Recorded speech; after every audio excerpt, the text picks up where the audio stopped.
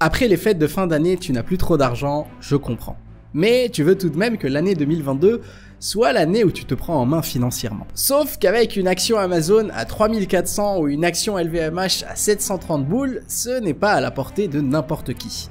Surtout si ton courtier ne propose pas les fractions d'actions. Et pourtant, il est possible d'investir et de réussir en 2022 grâce à des actions à la portée de tout le monde.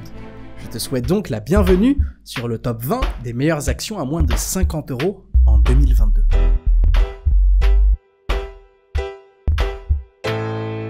Salut, c'est Sébastien et aujourd'hui on va diviser nos 20 actions en 3 catégories. Je vais te présenter 10 actions à dividendes, 5 actions à croissance et enfin 5 actions d'ETF. L'idée c'est de te donner des idées pas chères d'investissement pour commencer à construire une bonne base de portefeuille ou bien de compléter un portefeuille déjà existant. Bien évidemment, je ne suis pas conseiller financier, mais un simple inconnu sur YouTube qui raconte sa vie et donne son avis que personne n'a demandé. Ceci étant dit, je te propose de commencer avec les 5 ETF, qui pour rappel sont des paniers d'actions qui te permettent d'acheter et de t'exposer à un paquet d'actions en une seule transaction, en échange d'un tout petit frais de gestion annuel récupéré par le gestionnaire de l'ETF. Notre premier ETF de la liste est le Lixor PEA Monde, symbole EWLD. Cet ETF est composé des 1600 plus grandes entreprises du monde développées, c'est-à-dire dans principalement une dizaine de pays et à travers tous les secteurs. Comme son nom l'indique, cet ETF est éligible au PEA. L'action est à 26 euros, ses frais de gestion sont de 0,45% par an et a généré une incroyable performance de 31% en 2021. Cet investissement est parfait si tu ne veux pas te casser la tête et que tu veux tout simplement parier efficacement sur l'évolution globale de l'économie. Le deuxième ETF de la liste, c'est la même chose, mais cette fois-ci du côté des pays émergents, style la Chine, l'Inde, le Moyen-Orient, etc. C'est le Amundi ETF PEA MSCI Emerging Markets, symbole PA2EM. Cet ETF est composé des 1400 plus grandes entreprises du monde émergent, style Alibaba, Samsung, Etisalat, etc. Encore une fois éligible au PEA, l'action est à 23 euros. Ses frais de gestion sont de 0,20% par an et a généré une performance de 3% en 2021. Bref, du surplace. Alors évidemment, c'est une toute petite performance, mais il faut remettre les choses dans le contexte de la pandémie qui n'a pas été douce avec ces pays notamment. Allez, troisième meilleur selon moi ETF à moins de 50 euros en 2022, un incontournable celui-là car c'est l'Amundi ETF PEA S&P 500, symbole PE 500 qui va suivre le célèbre indice regroupant les 500 plus grandes entreprises américaines. Encore une fois éligible au PEA, l'action est à 23 euros, un encours de 1,2 milliard d'euros, ses frais de gestion sont de 0,15% par an et a généré une performance en 2021 de prépare-toi 43%. Attends Seb, comment ça se fait que cet ETF a fait plus 43% alors que le SP500 sur la même période lui-même n'a fait que plus 28%. Excellente question et la réponse est simple ma gueule. Les dividendes. Cet ETF étant capitalisant, il ne distribue pas les dividendes reçus mais les réinjecte directement dans le fonds, ce qui va mécaniquement augmenter sa valeur. Quatrième et avant-dernier ETF de la liste, la Mundi ETF PEA Nasdaq 100, symbole PANX. Cet ETF est composé des 100 plus grosses capitalisations du Nasdaq, considéré comme un bon baromètre des entreprises technologiques. En effet, 57% des entreprises du Nasdaq 100 sont des boîtes de la tech. Encore une fois éligible au PEA, l'action est à 42 euros, un encours de 116 millions d'euros, ses frais de gestion sont de 0,23% par an et a généré une performance en 2021 de plus 39%. Et on termine notre liste des meilleurs ETF à moins de 50 euros avec l'Amundi ETF PEA MSCI Europe, symbole PCEU permettant de s'exposer en une seule transaction aux 500 plus grosses importantes valeurs des 15 pays européens, par exemple Nestlé, LVMH, Siemens, etc. Encore une fois éligible au PEA, l'action est à 26 euros, un encours de 232 millions d'euros, ses frais de gestion sont de 0,15% par an et a généré une performance en 2021 de 27%. Allez, je te propose de passer à la seconde catégorie d'actions à moins de 50 euros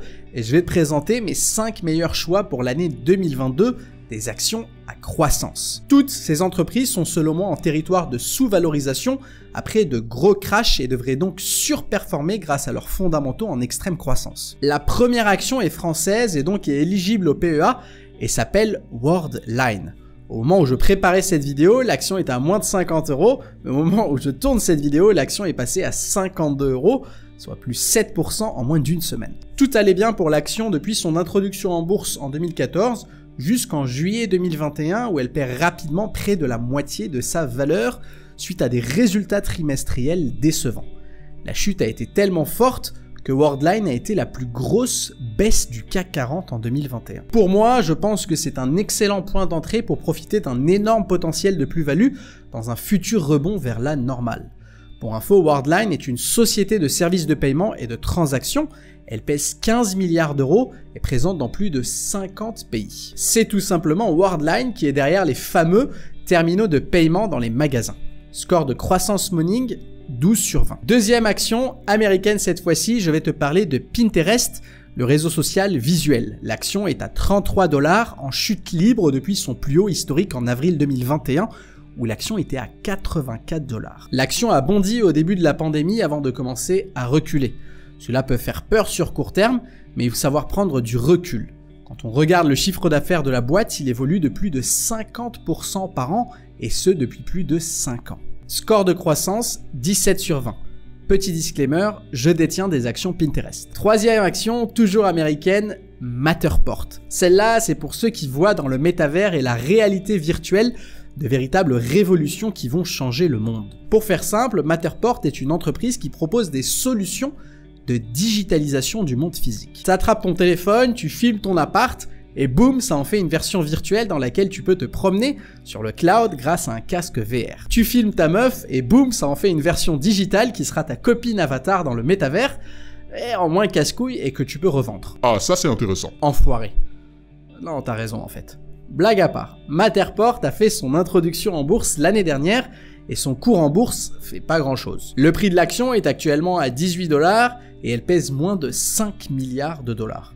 C'est donc un pari très risqué et réservé à ceux qui ont de fortes convictions et qui n'ont pas froid aux yeux. En tout cas, la croissance des fondamentaux est phénoménale, avec des évolutions positives à trois chiffres d'année en année. Allez, avant-dernière action à croissance à moins de 50 euros, c'est une action chinoise du nom de Tencent.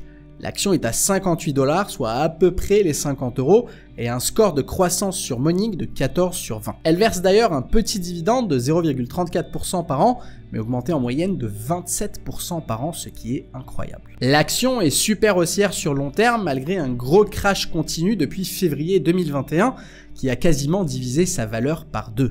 Rien à voir avec les fondamentaux qui sont exceptionnels, mais simplement la peur des investisseurs d'investir en Chine avec les récents agissements de Pékin notamment. Son PI ratio est actuellement de 19 en en faisant une des entreprises technologiques les moins chères du marché. Et quelle entreprise? Tencent évolue dans quasiment tout ce qui touche au web. Les réseaux sociaux avec WeChat, portail web avec Weibo, e-commerce avec PayPay, et jeux en ligne multijoueur en étant actionnaire dans Riot Games, Supercell et même Epic Games, le studio derrière Fortnite. Petit disclaimer, je détiens des actions Tencent. Et enfin, dernière action à croissance à moins de 50 euros, j'en avais déjà parlé l'année dernière et depuis elle a continué à se cracher. C'est une entreprise américaine qui évolue dans le secteur du gaming du nom de Skills. L'action est aujourd'hui à 7 dollars alors qu'elle en valait 40 à son plus haut en février 2021. Les investisseurs sont en train de la lâcher car c'est une petite boîte qui brûle énormément d'argent en marketing. Rien que l'année dernière, 112% de son chiffre d'affaires a été dépensé en marketing seulement et ça, ça fait peur aux gens. Malgré tout, il faut savoir prendre du recul et voir que le chiffre d'affaires double tous les ans et le nombre de joueurs ne cesse d'augmenter, quoique de manière assez ralentie après la réouverture de l'économie. L'entreprise est encore très petite et il faut lui donner le temps de mettre en place ses stratégies et voir les fruits de ses dépenses marketing. Quoi qu'il en soit, c'est un pari risqué, c'est une petite boîte, donc il faut pas mettre tout son argent dedans, mais rester bien diversifié, comme les cryptos on va dire. Pour info, son score de croissance est de 17. Petit disclaimer, je détiens des actions skills. Et on termine cette vidéo avec la troisième catégorie d'actions, celle qui verse des dividendes. Et pour celle-là, je vais te présenter rapidement les 10 meilleures actions à moins de 50 euros en 2022. Et pour faire plaisir à tout le monde, 5 seront françaises et donc éligibles au PEA et 5 seront américaines. On commence par les françaises et la première est évidemment Total Energy. L'action est à 46 euros, son rendement est de 5,82% par an, avec un score de sûreté de dividende morning de 11 sur 20, soit borderline. Bref, l'entreprise verse un beau dividende depuis de nombreuses années sans interruption, et l'augmente à la vitesse de 2% par an en moyenne. Ensuite, l'assureur AXA. L'action est à 27 euros, son rendement est de 5,3% par an, avec un score de sûreté de dividende morning de 10 sur 20, soit encore une fois borderline dividende augmenté en moyenne de 5% par an. Petit disclaimer, je détiens des actions Total et AXA au sein de mon portefeuille à dividendes. Troisième action, toujours française, avec Dassault Systèmes, un éditeur de logiciels spécialisé dans la conception 3D. L'action est à 48 euros, son rendement est de 0,28% par an avec un score de sûreté de dividende sûr de 14 sur 20. Dividende augmenté en moyenne de 4% par an. C'est un tout petit dividende, mais l'action a plus un profil de croissance quand on voit qu'elle a pris plus 50% sur un an et plus 242% sur 5 ans. Le tout soutenu par un chiffre d'affaires en croissance continue. Quatrième action et avant-dernière action à dividende pour PEA, c'est une petite boîte pas très connue et pourtant dotée d'un profil très intéressant dans le secteur de la finance, je parle de Viel et compagnie. C'est une société d'investissement spécialisée dans la prise de participation à long terme dans des entreprises opérant dans le secteur de la finance. À ce jour, Viel est investi dans trois entreprises que tu connais probablement.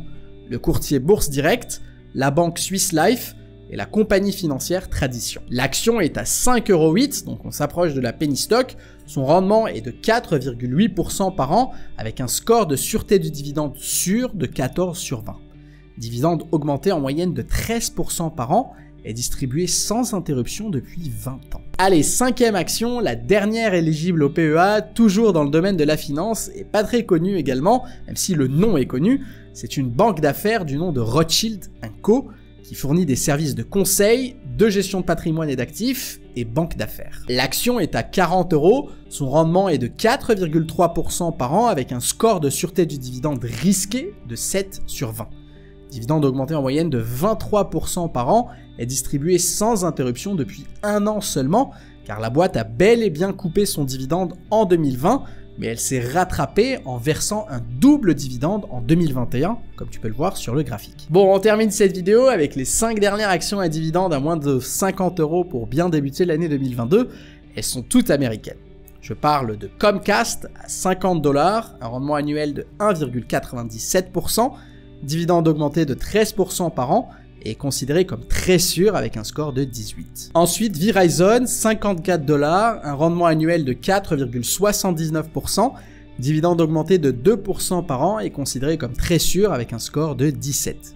Puis Pfizer à 55 dollars, un rendement annuel de 2,93%, Dividende augmenté de 6% par an et considéré comme sûr avec un score de 15. Ensuite, Coca-Cola à 60 dollars, un rendement annuel de 2,79%, dividende augmenté de 4% par an et considéré comme sûr avec un score de 16.